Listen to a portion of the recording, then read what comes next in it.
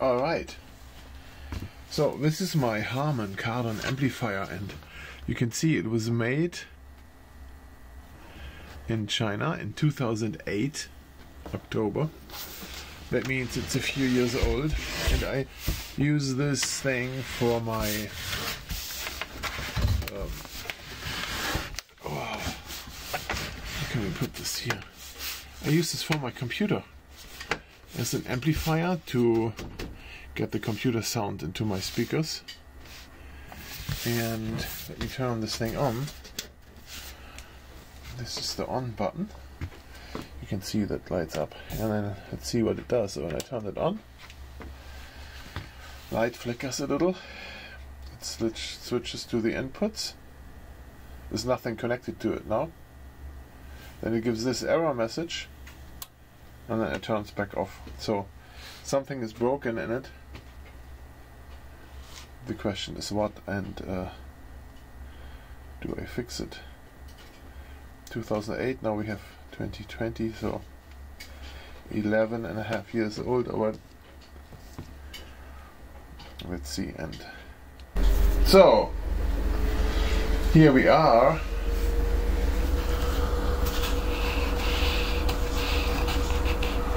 You can see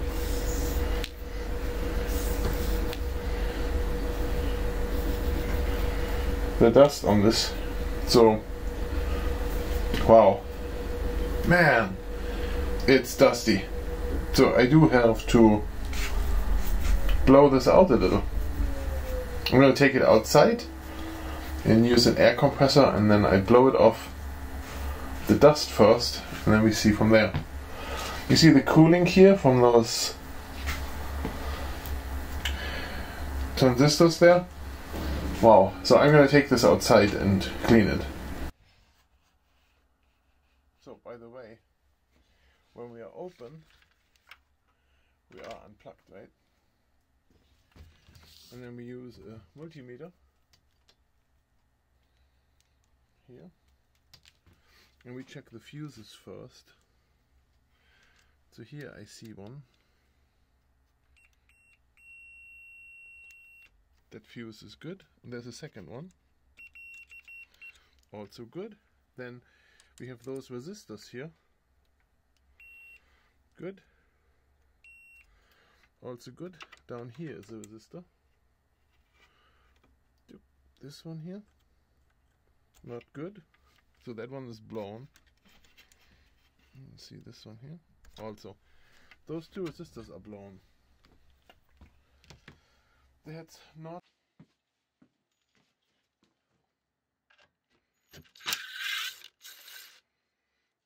one.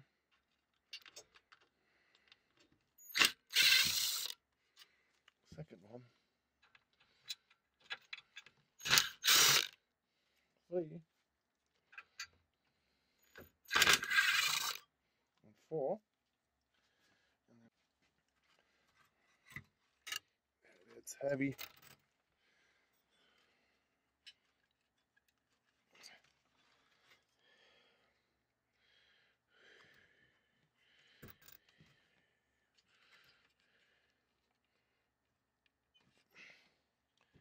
How do those come off? On the other side.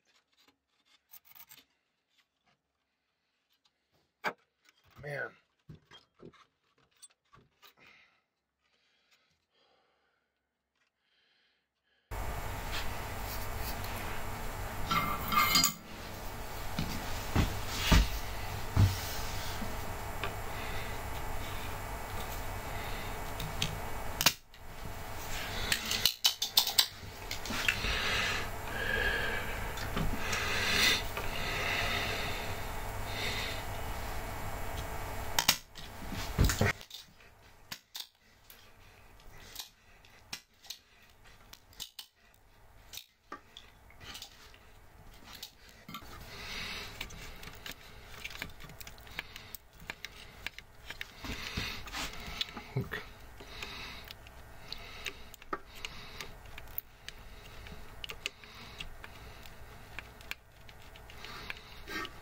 This one seems to be somehow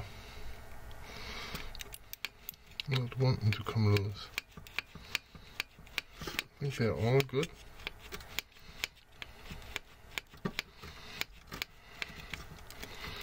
be careful now with the soldering iron to not contact over there.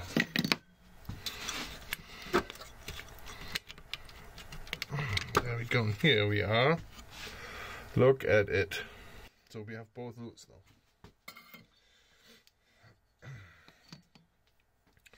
And now we can also measure the capacitors here because now between here and here is no connection. So we can measure if those guys are good or not. They are all open on theory.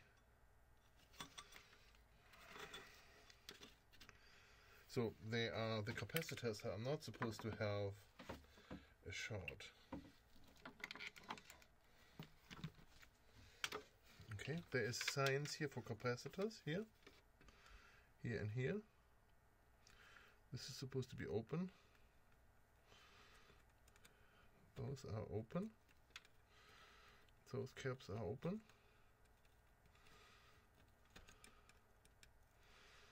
Those are open. Okay.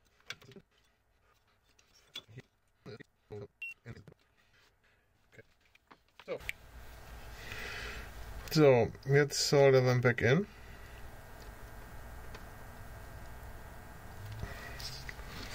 There goes one. Here goes the other. There's one here.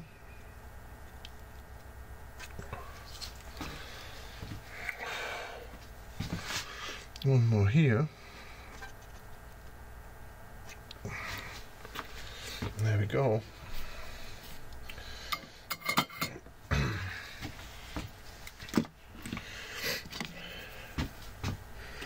Could be a little hot.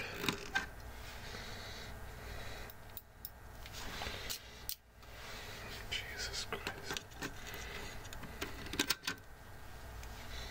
don't want to lose those in the device. And then one more. There we go. They're all back in.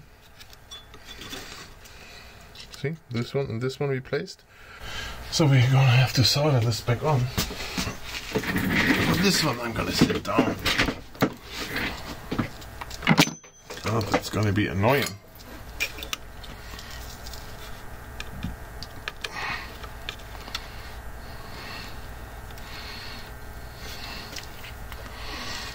One.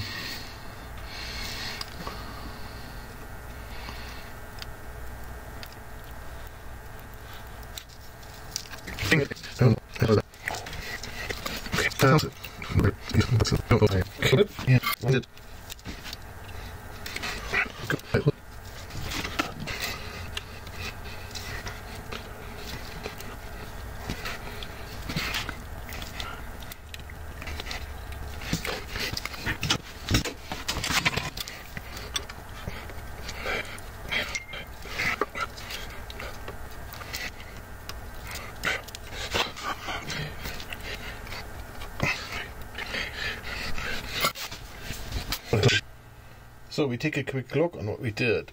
With the multimeter we checked those fuses here if they were good. We also checked those resistors if they have 0.047 ohms I think. And those two here, this one and this one was on infinite so they were blown off. Both of them basically were blown. So we replaced those both. As we had the resistors off and the whole board of the transformer. We had to unsolder all those connections here and those two. So as this board was off the transformer we measured those capacitors here. They all seem to be okay. Now after we are done here we do need to turn this thing on and then measure all those voltages here that are supposed to come out. There is voltages written on it and so we have to check every single voltage if it doesn't work maybe it even works already so we're gonna see how that goes so we have to reconnect it now and then screw this back in here But the thing goes in here like this. Um, this little connector goes down here. It's a little hidden. Only fits once, and then those two here have to be connected. Here's one with three connections. On this side, one with two. There. And then down here. Not sure if I can get the camera over here like this.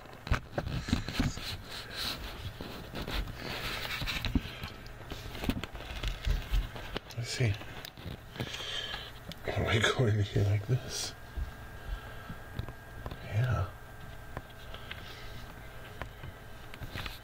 Without falling over? I have the feeling it's moving, but okay. Alright.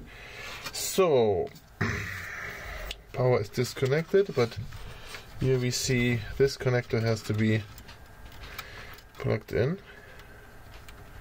Here. See that?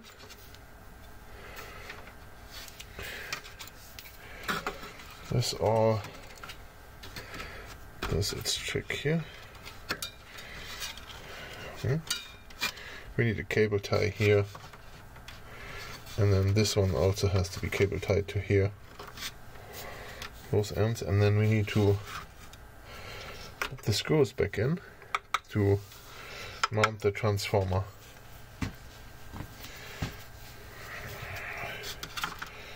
Let's get one through here.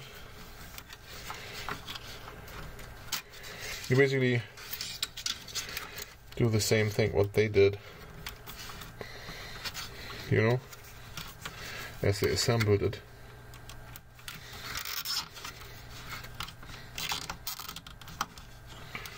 So this one.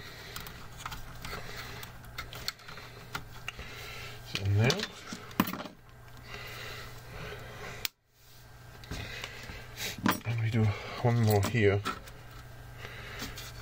Get those cables situated.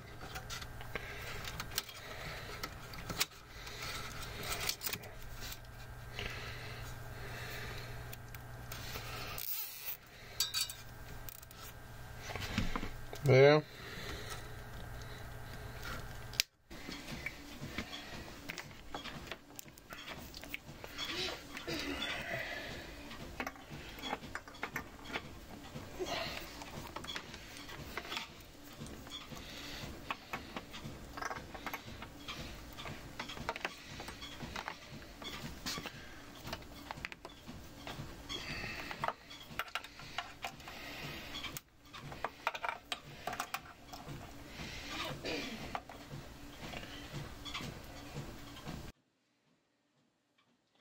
Alright, so there comes the moment of truth now. I do have this one connected here to the CD input. And I have this little zoom player here where I can play this. Hellcat, and then we're gonna plug this in here. So I input that and then we turn it on. And then see this time the light flickers is a good sign that it puts a lot of power and we see, oh, there we go, see? Works again.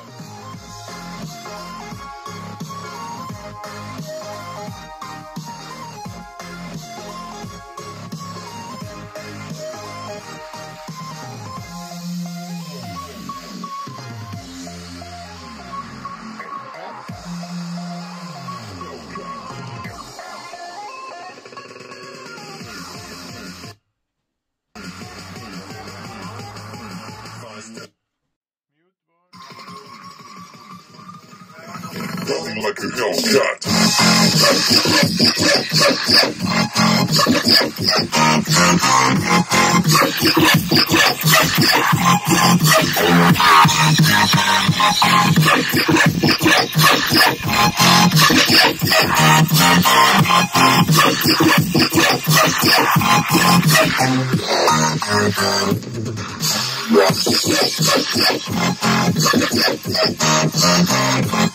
Like a Hellcat.